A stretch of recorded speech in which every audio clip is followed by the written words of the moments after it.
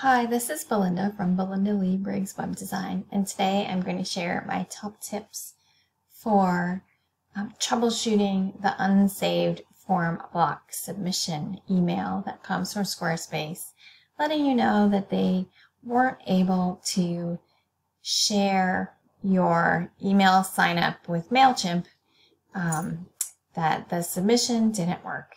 Their top tip is to reset um, the MailChimp connection and I'd like to offer something else as a solution first. So um, you'll notice that on my website, I have the famous email sign up in the footer. And I'm going to show you how it is set up by coming in through the back end. we're just going to click edit and my storage option is set up the MailChimp and I have this require double opt-in after subscribing checked. What this does, this magical little button, is it forces the whole is this spam email, is this not spam email question away from MailChimp and back on the user who signed up. This will save you from worrying about whether your form is set up and going through the hoops of um, reconnecting and disconnecting forms. Now, there are some other reasons why you may get that error, and I'll cover these, but this is the number one thing. Make sure that this is checked. And click apply. My apply button is off screen, um, but you would click apply. I'm just going to click cancel because it's already done. So and I'm also not going to save because we're already set up. So let us do a test. I'm going to send it to myself. And I really have a very boring thank you here. You might have a redirect or something a little more exciting. Watch your inbox for the um, um, email. You need to confirm your subscription. Might be a good thing to put in here. Okay, so I'm going to wait a minute for my email to come through and see if I get that confirmation. In my email, I've received the um, confirmation email from MailChimp. You can see that it's from, it actually comes in through me because I have mine authorized to do so, but this was actually generated by MailChimp. And you can kind of see that right there, MC sign up, MailChimp sign up. Um, that's who mailed it, but it comes through me. And there are ways, um, I digress. Let's not go there right now. You can um, edit this email to have a little more information than what I have. I can show you how to do that in a few minutes. But the key here is what we want to do is say, yes, subscribe me to the list. And I also want to let you know that it's been about two hours since I received this email. I wanted to see if I was going to get a bounce notification from Squarespace, and I haven't yet. So I did not get that dreaded um, form not submitted. So we're going to say yes, subscribe me to this list.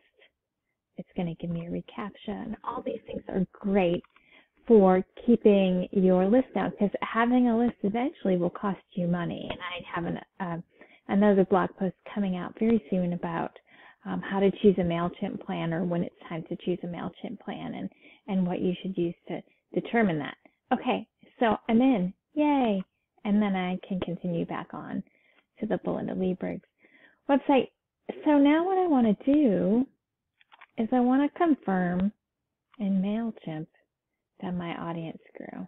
Let's see what happens if we give this a refresh here. Great. 28 contacts. Let's take a peek at them. I know my list is really small.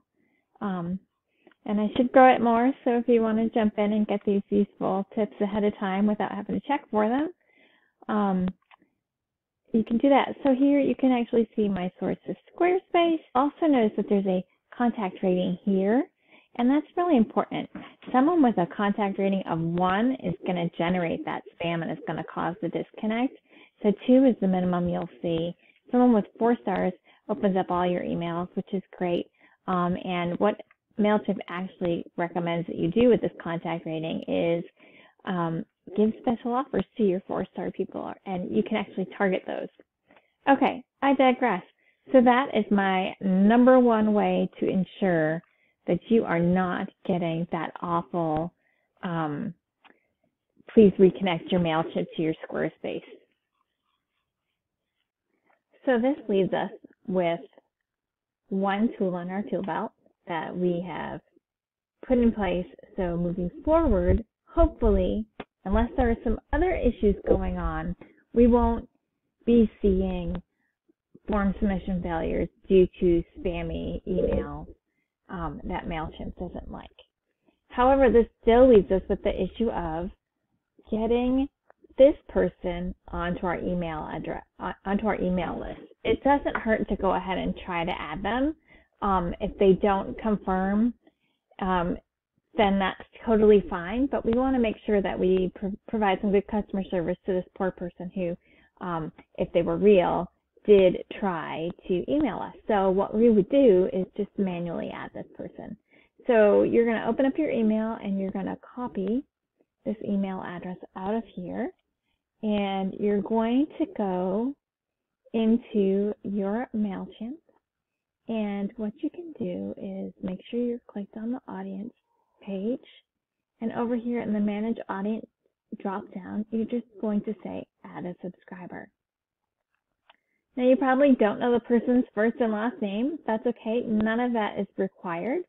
You can just paste their email address in here. Um, and then when you click come down here, you can't click subscribe until you've checked that this person gave you permission to email. You're going to click the subscribe button and they'll be added. So that is kind of the last little bit is making sure that we add that person in who may or may not have been spammy and we'll know when they choose to confirm or not or not.